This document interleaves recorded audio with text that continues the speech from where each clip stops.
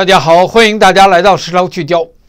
我们现在看到这个画面，这个人这是在推特上，这个男的，这个男的是《时代》杂志的总编，在 CNN 呢，他有一个叫 GPS，他是每礼拜日的一个专题节目，叫 GPS。他曾经犯过一些错误，但是呢，他是他应该是个印度人，他非常有名。他当然他说话带有口音了，非常有名。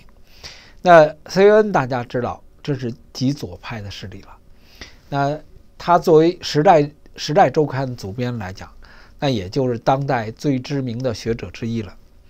那我为什么用这个问题呢？原因就是他在今天现在我们看到是在，呃，是在这个布雷巴特的一篇报道当中引用了他这段话。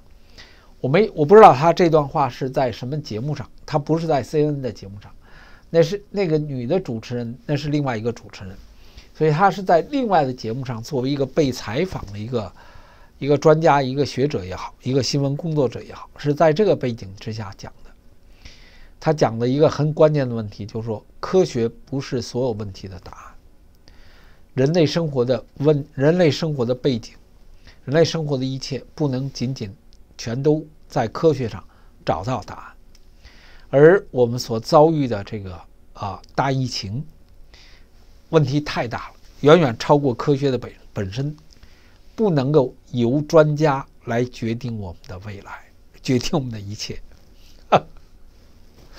我觉得，我觉得不容易。为什么？我们我们节目中讲的就很清楚，对吧？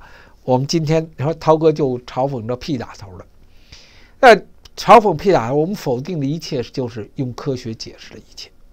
很多人不愿意听，但是呢，当你稍有点、稍微有一点正常思维的话，都知道科学太太幼嫩、太狭隘、太幼嫩、幼嫩、太狭隘、太无知啊，太无知。